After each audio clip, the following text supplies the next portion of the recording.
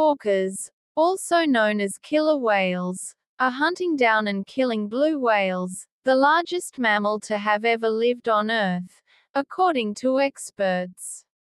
Staff at the Cetacean Research Centre in Western Australia spotted orcas hunting and killing an adult blue whale off Bremer Bay while carrying out annual research.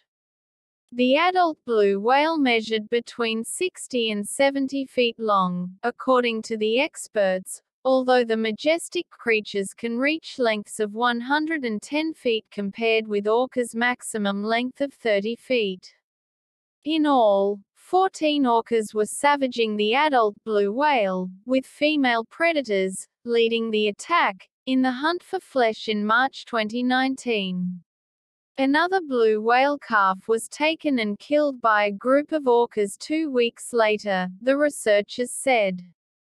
Orcas are one of the most recognizable marine mammals, with their distinctive black and white bodies, but they're also highly intelligent and able to coordinate hunting tactics like a pack of wolves. Despite often being referred to as killer whales, orcas are actually the largest member of the dolphin family. Orcas, commonly known as killer whales, are the largest members of the dolphin family of marine mammals.